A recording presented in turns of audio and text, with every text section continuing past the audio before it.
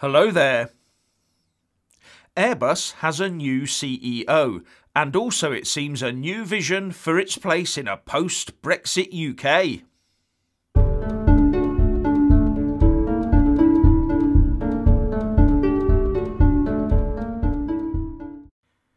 Firstly, as ever, please kick that YouTube algorithm up the jacksie by giving this video a big, fat like.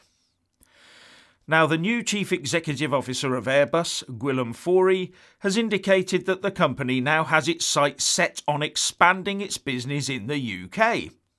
Whereas the previous CEO, Tom Enders, had given out warnings that the company's future in the UK looked dodgy with Brexit in the offing.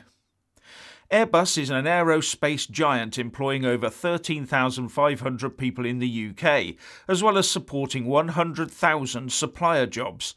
And Bloomberg says that the company signalled that it's ready to move beyond a previously uneasy relationship with the UK over Brexit, saying the future of its British wing plants is secure and pledging to work with the government to expand a business that goes from helicopter maintenance to planetary rovers.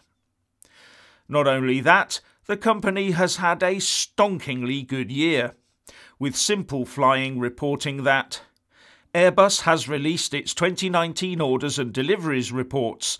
In short, Airbus had one impressive year in 2019, delivering over 860 aircraft and netting 768 orders.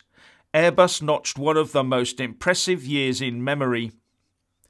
And SamChui.com says the company disclosed gross orders for 1,131 new aircraft, with a net order figure of 768 aircraft, which is 21 more than 2018, delivering 863 aircraft, which is an 8% increase compared to 2018.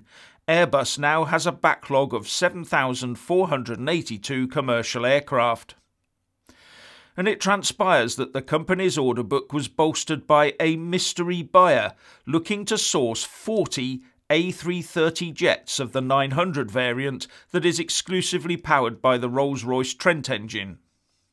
Faury, who became Airbus CEO last November, also said at a company event last week Airbus is committed to the UK and to working with the new government on an ambitious industrial strategy, we see great potential to improve and expand our operations in the UK this year.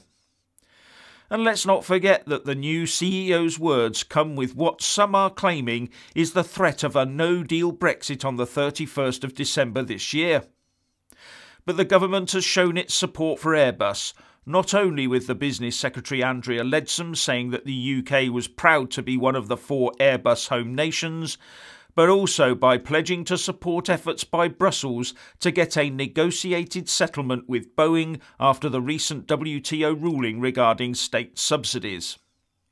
Airbus is also looking to expand elsewhere, with a report coming in from AL.com that the company will add 275 new jobs in Mobile, Alabama over 2020.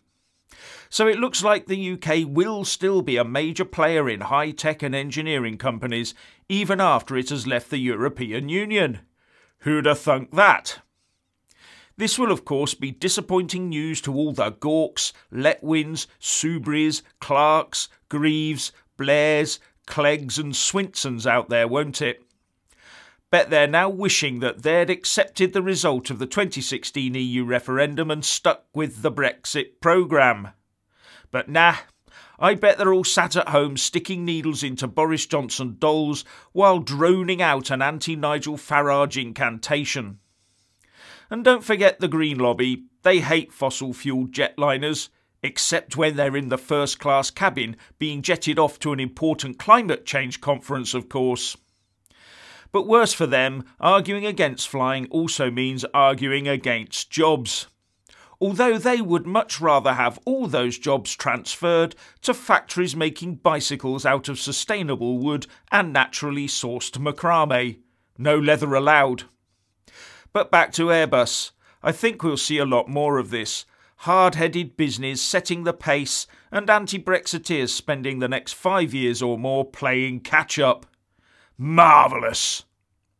And if you want to hear more from me, please don't forget to subscribe and also press that little bell or you won't get notifications.